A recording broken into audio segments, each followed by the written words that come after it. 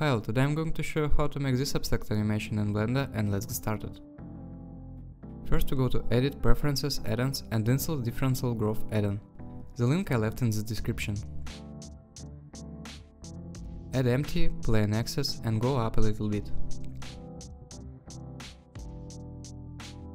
Add circle, go to edit mode and press F. Then press I and with the mouse we create the inner circle. Select the side points, exit the edit mode and add the array modifier. Turn off relative offset, turn on object offset and select empty. Increase the count parameter by 3 and apply the modifier. Now click on the green triangle, go to edit mode, click on the plus and assign. Click on the orange square and open the top of our add-on.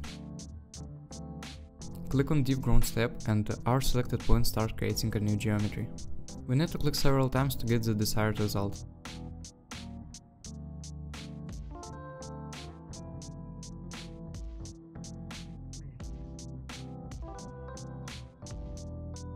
Press Ctrl 1 and add the Modify Subdivision Surface. Right click Shade Smooth.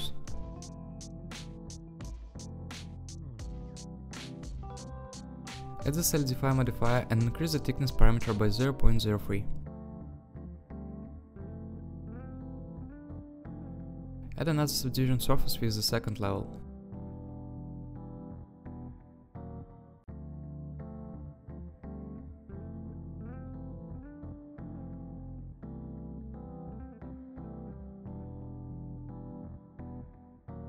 Add modifier wave, go to the top time, increase the parameter life at 145 and reduce the speed at 0.05.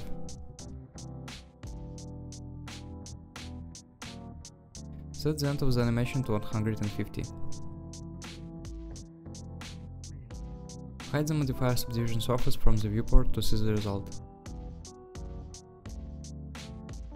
Ok, now I'm going to rotate the object by double clicking the OK and turning on the subdivision surface modifier in the viewport.